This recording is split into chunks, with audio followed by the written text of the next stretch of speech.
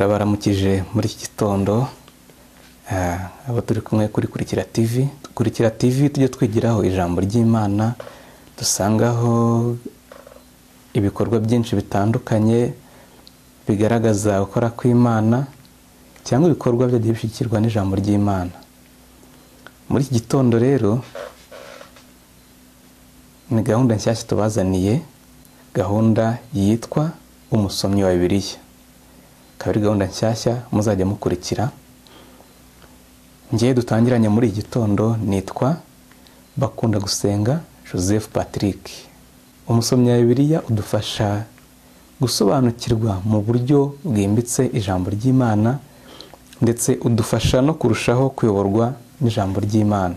Hari abajya buri umwanya wakunda gusoma umusomyi wa bibiliya ariko kubera gahunda zitunguranye cyangwa gahunda zahindutse mu buryo bugutunguye z'akazi rimwe na rimwe ukaba wagenda utawusomye uyu musomyi wa bibiliya tuzajya tuwusoma ushobora kuwukurikira uri mu nzira ugenda uri mu modoka ushobora kuwukurikira wageze ku kazi mu gihe utaragatangira cyangwa wari ugeze poze nabararikira ngo umusomyi wa bibiliya ntazagire umunsi wongera kubacika mutawukurikiye.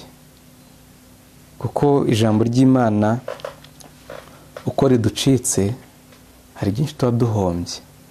Kudufasha gusobanukirwa neza ndetse no kumenya mu buryo ubwo ari bwo bwose ubuzima bw'umukristo agomba kubaho buri munsi kuko ni byinshi twungukiramo. Reka dutangire nakwakira ngo ijambo tugiye gutangiraho kuri uyu munsi reka twese hamwe ritubere ry'umugisha mbere yuko dutangira umusomyi iri ni isengesho. Buri muntu ugiye gusoma umusomyi asenga. Twifashishije igitabo cy'umusomyi. Reka dusenge iri sengesho. Hwejesha amaso yanjye kugira ngo ndebe ibitangaza byo mu mategeko yawe wandikishije. Amena dusome. Kuri iki cyumweru ku itariki ya makumyabiri mu kwezi kwa cyenda umusomyi duteguriye ko turasoma muri bibiriya mu gitabo cya samweri wa kabiri igice cya makumyabiri na kimwe duhere ku murongo wacyo wa mbere kugeza ku wa cumi na kane. Haravuga ngo umutwe w'amagambo uragira uti ab'igibeyoni bihorera. Umurongo wa mbere uragira uti bukeye ku ngoma ya dawidi hatera inzara imara imyaka itatu uko yakurikiranye dawidi asobanuza uwiteka. Uwiteka aravuga ati bitewe na sawuri n'inzu ye y'abicanyi kuko yishe ab'igibeyoni. Umurongo wa kabiri atubwira ukagira uti maze umwami ahamagaza ab'igibeyoni arababwira kandi ab'igibeyoni ntibari abo mu miryango ya isirayeli ahubwo bari abamori bacitse ku icumu kandi abisirayeli bari barasezeranye nabo. Ariko sawuri yashakaga kubica abitewe n'ishyaka yagiriraga abisirayeli n'abayuda. Umurongo wa gatatu ukatubwira uti dawidi abaza ab'igibeyoni ati mbagirire nte? Natanga ikiho impano kugira ngo musabire gakondo y'uwiteka umugisha. Umurongo wa kane ab'igibeyoni baramusubiza bati icyo dushaka kuri sawuri n'umuryango we si ifeza cyangwa izahabu kandi si ibyacu kugira umuntu twica muri isirayeli. Nawe aravuga ati uko mushaka niko nzabigira. Umurongo wa gatanu babwira umwami bati uwo mugabo waturimbuye akadushakira ubwenge bwo kudutsemba ngo tutaba mu bihugu bya isirayeli byose. Umurongo wa gatandatu. Nimuduhe abagabo barindwi bo mu bahungu be. Tubamanike imbere y'uwiteka igibeya kwa sawuri intore y'uwiteka. Umwami aravuga ati nzabatanga. Umurongo wa kane ukagira uti ariko umwami arokora mefibosheti mwene yonatani mwene sawuri ku bw'indahiro dawidi na yonatani mwene sawuri barahiranije imbere y'uwiteka. Umurongo wa munani ukagira uti nuko umwami afata abahungu babiri ba risipa umukobwa wa ayiya yabyaranye na sawuri arumoni na mefebosheti kandi n'abahungu batanu ba merabu umukobwa wa sawuri yabyaranye na aduriyeli mwene barizirayi w'umumehorati umurongo wa cyenda ukagira uti abatanga mu maboko y'abigebeyoni babamanika ku musozi imbere y'uwiteka bapfira icyarimwe bose uko ari barindwi bicwa mu isarura ritangira batangiye gusarura sayiri. Umurongo wa cumi uragira uti risipa umukobwa wa ayiya yenda ikigunira akisasira ku rutare uhereye mu tangira gisarura ukageza igihe cy'imvura y'umuhindo yashyaniye kuri izo ntumbi ntiyakundira ibisiga byo mu kirere ko bizirya ku manywa cyangwa inyamaswa zo mu ishyamba ziza nijoro. Wa cumi n'umwe ukagira uti bukeye babwira dawidi ibya risipa umukobwa wa ayiya inshoreke ya sawuri icyo yakoze. Umurongo wa cumi na kabiri ukagira uti dawidi aragenda akura amagufwa ya sawuri na yonatani umuhungu we mu bantu b'iyabeshi y'i galeyadi bari baranyaze mu nzira y'i betishani. Aho abafilisitiya bari barayamanitse kuri wa munsi abafilisitiya biciraga sawuri igiriboho umurongo wa cumi na tukagira ukagira uti akuraho amagufwa ya sawuri na yonatani umuhungu we. Maze bateranya amagufa ya ba bandi bamanitswe. Wa cumi na kane ukagira uti nuko bahamba amagufwa ya sawuri na yonatani umuhungu we isera mu gihugu cy'ububenyamini mu gituro cya se kishi. Basohoza ibyo umwami yategetse byose.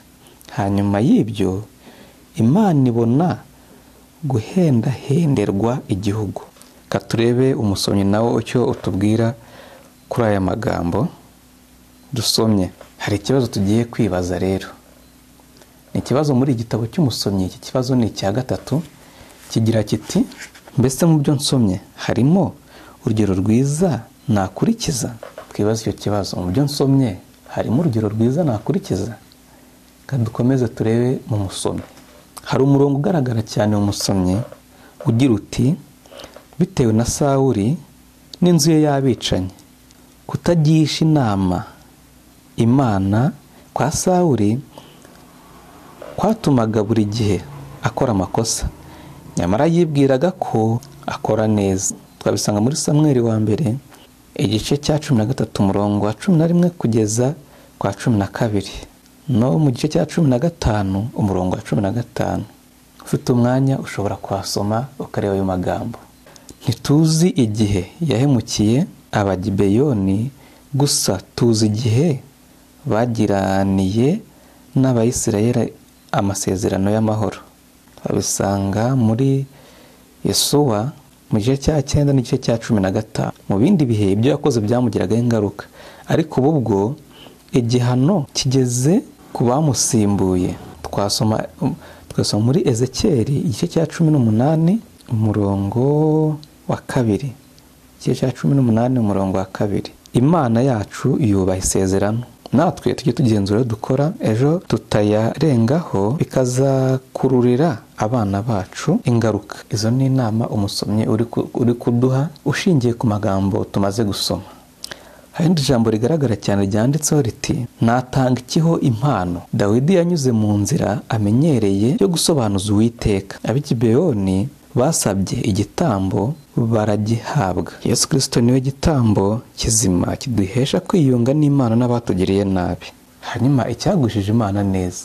Inzigo y'abigibeyoni imaze gukurwaho ishavu n'umubabaro bya risipa bimaze kururutswa. Dawidi amaze gushyingura. Abapfuye imana yumvise gusenga kwabo ibaha umugisha. Umurongo wa cumi wa cumi na gatatu n'uwa cumi na kane birabivuga neza. Bavandimwe bakunzi b'imana. Ijambo ryo kuzirikana kuri uyu munsi ku itariki ya makumyabiri n'iri. Dawidi yubashye isezerano bituma mefebosheti arokoka urupfu. Natwe dukomere ku ryacu dufitanye na yesu bizaturinda urupfu rw'iteka. Amen. Dusoza umusomyi turasoza turirimba indirimbo ya makumyabiri n'umunani mu ndirimbo z'agakiza rero katurimbane iyi ndirimbo.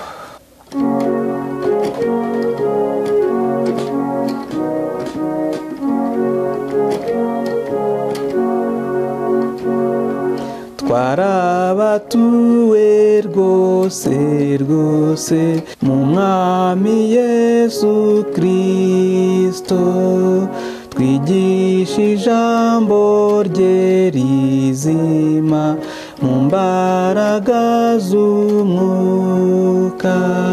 Cyo dukomeze tujya imbere dutsinda ibigerageza turwana intambara twizeye twihanganire byose.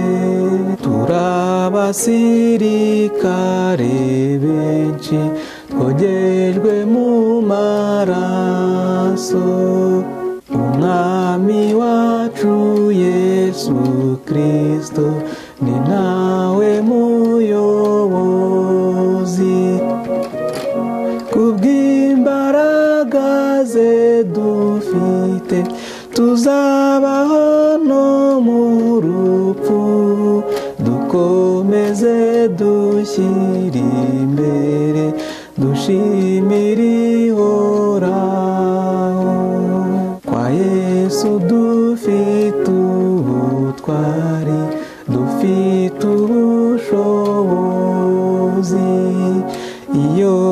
twizeye amagambo ye uko yayatubwiye.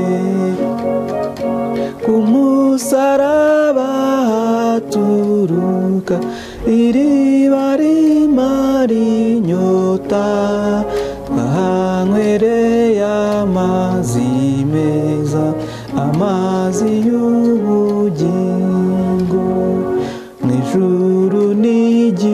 n'igihugu cyacu cyuzuyemo amahoro mu gihe tuzakigeramo tuzahimbaza yesu.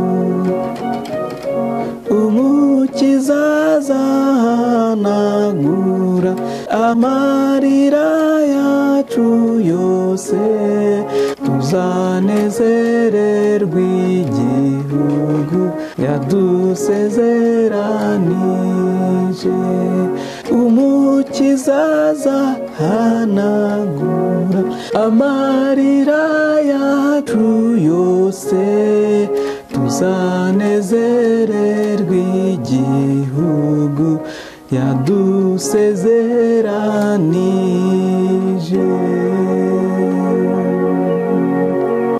kadusenge dusoza mwami yesu tugushimire bw'ijambo ryawe twumvishe muri aka kanya mwami yesu turakwinjiza kugira ngo ari wowe uba uwo kuduha imbaraga zo gukomeza isezerano. Twagiranye nawe kugira ngo tuzashobore kurokoka urupfu rw'iteka. Uko niko nsabiye abanyumva muri aka kanya niko nsabiye abazanyumva niko nsabiye abagukunda bose mu izina ryawe. Data wa twese uri mu ijuru. Amen. Tuzongere dore mu gitondo cy'ejo. Imana itugezeho amahoro kandi twizeye ko izatugeza amahoro. Mu izina rya yesu amen. Mu ijuru n'igihugu cyacu cyuzuyemo amahoro. Mu gihe tuzakigeramo tuzahimbaza yesu. Umukiza azahanagura amarira yacu yose. Tuzanezererwa igihugu yadusezeranije.